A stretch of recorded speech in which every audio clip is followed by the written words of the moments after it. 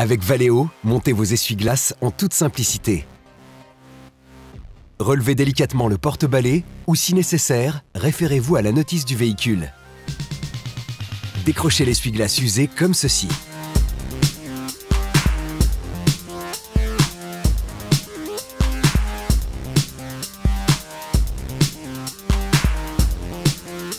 Puis, connectez le nouvel essuie-glace de cette manière.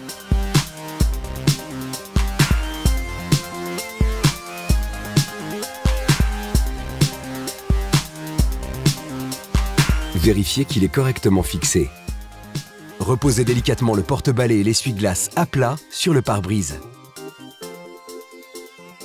Assurez-vous du bon fonctionnement de vos nouveaux essuie-glaces. Valeo vous recommande de remplacer vos essuie-glaces une fois par an. Enlevez la pastille du témoin d'usure. Quand il devient jaune, changez vos balais.